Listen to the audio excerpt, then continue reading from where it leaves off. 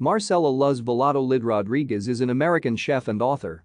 She was the host of the Food Network television series Mexican Made Easy and a judge on the Food Network television series Best Baker in America. Valladolid Rodriguez was born in San Diego, California.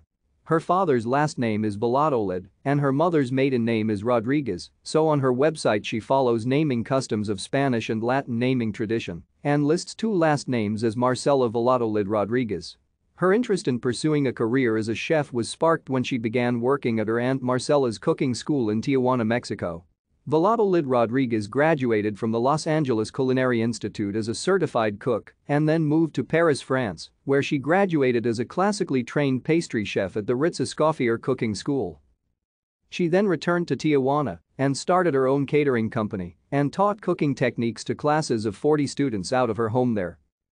Valladolid Rodriguez joined the staff of Bon Appetit magazine as an editor and recipe stylist.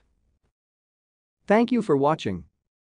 Like and subscribe if you would like to view more of our videos. Have a nice day.